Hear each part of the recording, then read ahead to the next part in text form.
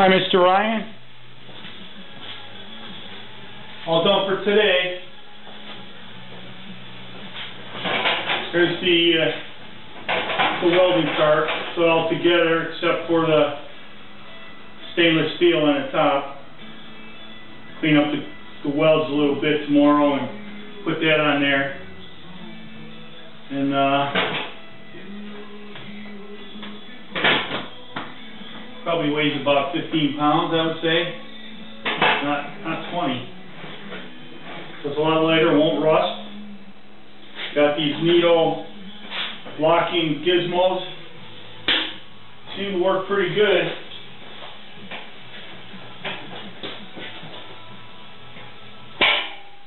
Made for old guys. You don't have to bend over.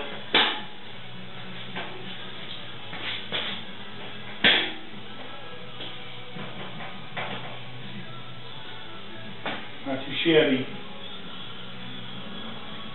That's it for today, Mr. Ryan. Hope you survive.